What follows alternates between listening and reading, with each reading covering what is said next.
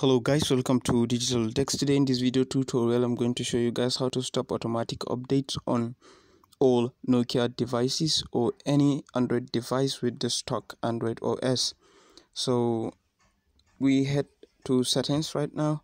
You tap on your settings then open your settings and scroll down to system which is this.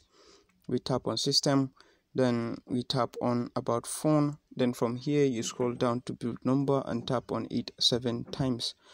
So please as you do so make sure after watching this video you subscribe to this channel. I upload video tutorials every monday and friday. So the device i'm currently using is the nokia 5.1 plus.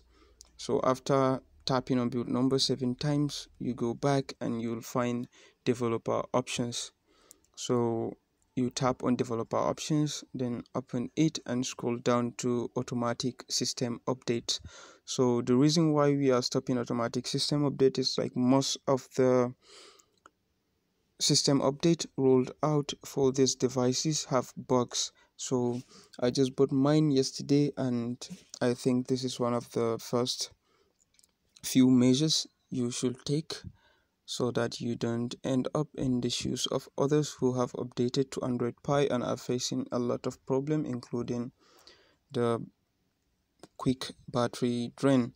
So you just toggle this off and by doing so even if your device finds an update it won't update automatically after you connect to a Wi-Fi. So you'll have to manually tap on settings then tap on system and tap on system update then you will have to tap on download and install yourself so you'll have to update it manually. It won't occur automatically. So please as i said make sure you subscribe to my channel. I upload tutorial videos every mondays and friday. I love you guys so much. Do have a wonderful day